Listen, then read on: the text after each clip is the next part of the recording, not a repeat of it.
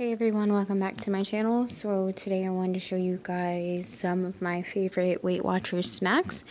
So these are more of the like unhealthy snacks. Other snacks I might do, it's like bananas, oranges, you know, some type of vegetable, some type of fruit.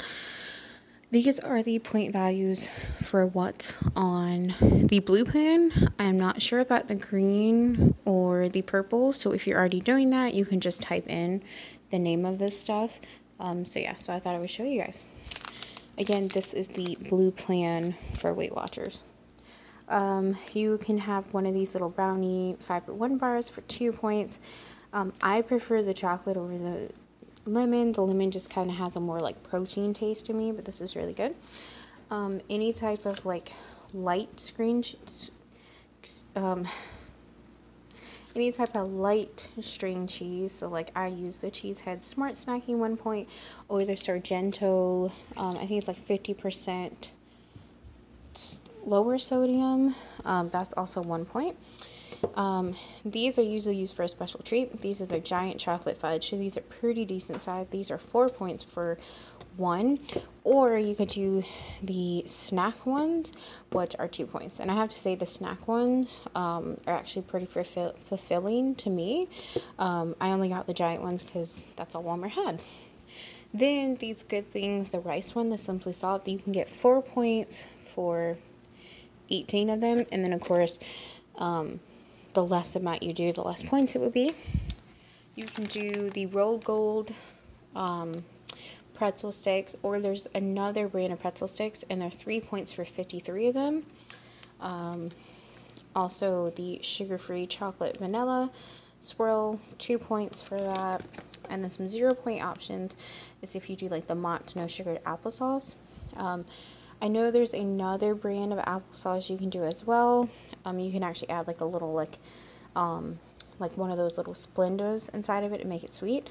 Or the sugar-free jello is also zero points. Um, if you're craving a sweet tooth, these little Quaker caramel rice crisps are four points for this whole bag.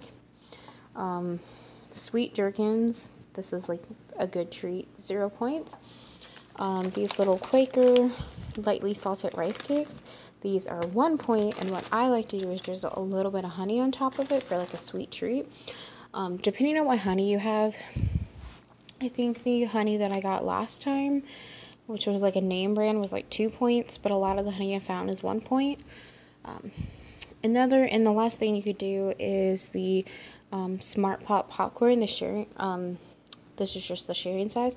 You can actually do, what's it, five points for three and three fourths a cup. And of course, if you, the lower the amount you do, the lower points. So like I did two cups the other day and it was, I think about two points. So yeah, so these are just some options. Um, if you guys want me to do another one of these videos, please give it a thumbs up. Um, I'm planning on doing like a what's for dinner video for Weight Watchers. Um, I'm still looking into breakfast, trying to figure out my whole breakfast routine. So I might show some like breakfast ideas. There are only maybe like three or four of them. Um, and yeah, I am working on lunches, um, having like a week of lunches. So yeah, we'll kind of see. But yeah, if there's a type of video that you guys want to see um, that I haven't put out yet or named, um, let me know down below.